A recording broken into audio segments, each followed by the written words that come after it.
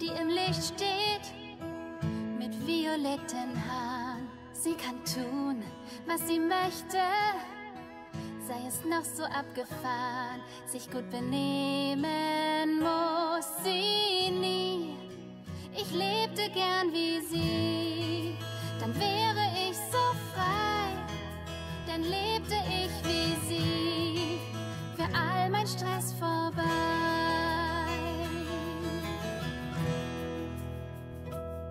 Seht sie an, dort im Thronsaal, jedes Haar perfekt.